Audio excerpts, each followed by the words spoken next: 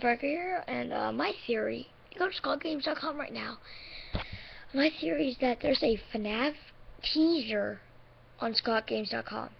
It's probably due to the, to the Halloween update. Maybe. To a whole new FNAF game. Or the real teaser, but whatever.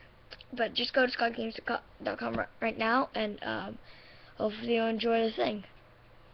Um, thanks for watching, and if you like down below, wait no, over here and subscribe if you like it.